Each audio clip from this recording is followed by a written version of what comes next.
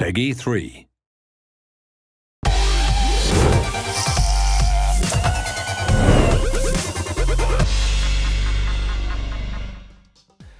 You're watching The Boot Room, and this week we're talking about the glory part of the game that is scoring goals. Darren Cross from Match Magazine is the man with the know how. Now, Darren, I guess there are a number of factors that affect whether the ball goes in the back of the net or not. Yeah, there are plenty of things you can do to increase your chances of scoring, and we're going to take a look at those today. Great. Now, I guess before you even get on the pitch, there are considerations to make in terms of your team selection. Absolutely, yeah. You want to have a good look through your squad and make sure that you've got your best finishers out there. Now, the finishing attribute obviously relates to your player's ability to score goals, but that's really from inside the box specifically. So you want to get your strikers in the box before you have a shot, basically, and that's where that, that finishing attribute is really going to pay off. So that's what you're looking for first in your squad. Have a cycle through, make sure your strikers have got good finishing ability. Um, secondly, you want to check that um, what their dominant foot is. Are they right-footed? Are they left-footed? Because that makes a difference. And you also want to see what their weak foot rating is. Um, if it's anything above a three-star, it's probably worth having a pop with them if it falls on their weak side. Anything below, probably not. But ideally, you really want to strike for goal with your dominant foot, yeah? You do, yeah. That's really going to improve your chances of scoring. I mean, if you've got a player that has a strong weak foot, then yeah, you can turn back onto that, um, and it probably won't be anticipated by the other player. So that's a good option. But if you can, it's best to make a bit of space and have a shot with your strongest foot. And one of the things I like to, to aim for is to have a left-footed striker and a right-footed striker, so that I can constantly keep my opponent guessing at the back. Now, you mentioned making space. Why is that important and how do you do it? Yeah, it's important because if you've got a, a bit of a run onto the ball, then you're going to get a, a, truer and harder strike at goal, which is obviously going to improve your chances of scoring. There are a few ways to do it. You know, you could just um, turn away from the defender and, and, use the sprint to accelerate away, and that will naturally open up a bit of space.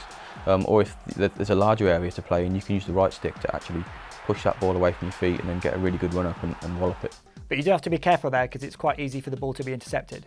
It is, yeah. You know, you need to time that right. You don't want to be doing it, you know, if you're in a cluster of players because it's going to be intercepted. But if you have got, you know, if you're just up against one defender and you can go either way, you might want to look at pushing it around him, getting that space, and then really striking the ball well. Any other tips for getting more power and accuracy? Yeah, so another thing to consider is the body shape of your player. Um, if you're running away from goal at a sharp angle, the chances of you striking the ball well and scoring are, quite slim.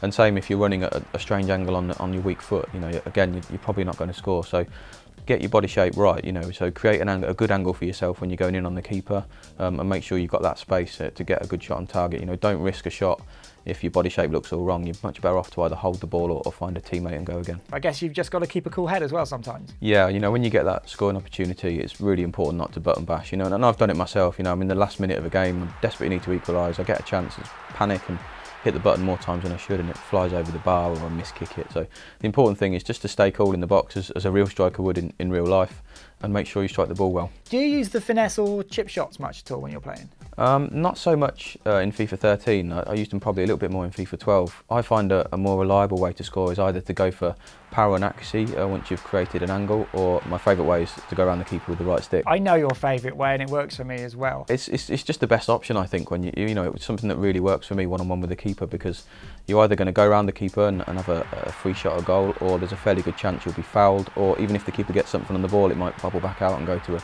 a nearby teammate. And for me, it's just less risky than going for a chip shot, which is very hard to execute.